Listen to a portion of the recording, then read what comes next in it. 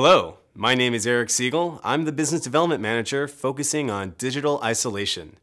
I'm here today to demystify an isolation topic that hails from the world of mechanical packaging specs creepage and clearance. When I first learned the terms of creepage and clearance, it was more in a legal setting. Just kidding. Seriously though, creepage and clearance is no laughing matter, so let's get to it and talk about it. Let's start with some definitions. Creepage is the distance between two conductive points on the outside of a package. This typically means input to output around the perimeter of the package, between the bottommost input and output pins. Clearance, on the other hand, is the shortest distance between input and output through air. Usually, you hear this term used with the phrase line of sight to imply pin to pin just under the package. Being so similar in definition, I find this helpful mnemonic keeps it straight.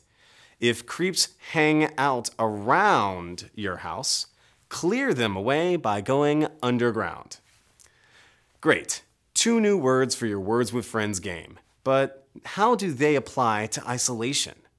Let's hold that thought and make it real. Say you are going to a party and are wearing a brand new, nice outfit. To get to said party, you have to cross a riverbank.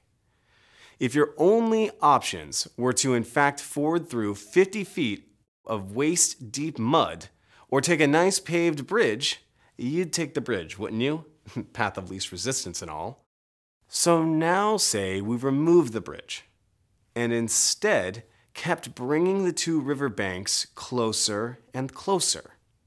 If it were down to under 30 feet of mud to ford, you'd probably not go to the party, unless you were Mike Powell, the Olympic class long jumper, in which case you might just clear both banks unscathed. How does this all relate to creepages and clearances? Well, in this example, U represent current and voltage. The path of muddy riverbanks represents air, which breaks down at 3 kilovolts per millimeter and the bridge represents copper, which has a resistivity of 16.8 nanoohms meters. With the copper present, everything is fine. But once removed and in too close of proximity, then air will break down and make it to the party. So hopefully you see how the distance at which you can clear the gap relates to the distance assigned to creepages and clearances. Calculating creepages and clearances will require you to know at least three things. Your isolator's working voltage, the material group, and then the pollution degree the isolator will be used in. These variables all play a part in the overall system considerations and account for how high a voltage you'll be using, which is the working voltage, what the isolator is made of, which is the material group, and the contaminants in the air, which is the pollution. Why do you need to know these things? Well, working voltages are a good indicator of how much energy is in the system. So in terms of our muddy riverbank setup, if you are going to jump the distance, did you just finish a bender of triple espresso shots and are full of energy? That could correlate to a high working voltage of 700 volts peak.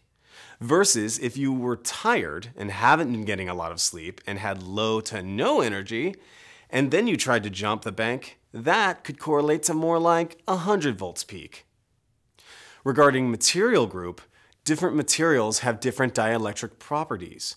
So in our world, would you be jumping off soft, muddy sand that makes for a hard jump, or would you be jumping off of a rigid, dried out surface that makes it easier to go farther?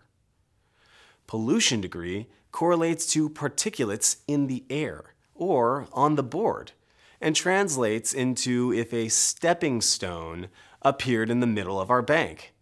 Instead of having to do one 50 foot wide jump, you would now only have to make two 25 foot jumps. The combinations of these inputs will yield out the appropriate minimum distances to maintain in your design as given in your design certifications table. That being said, the values of creepages and clearances will be a vital piece of information when designing any circuit that requires isolation and should be clearly stated in a datasheet.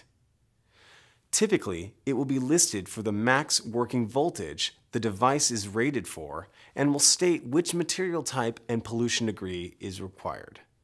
So in review, creepages and clearances are not just legal terms, but are in fact about safety.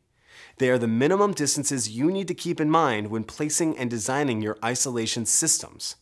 Look them up in your datasheet and measure twice and cut once. Or as many times as you like, since you'll probably have an undo button in your design software of choice. For more information on digital isolation, check out ti.com/iso and peruse our offering of unique and diverse products. This is Eric Siegel signing off saying DFTBA.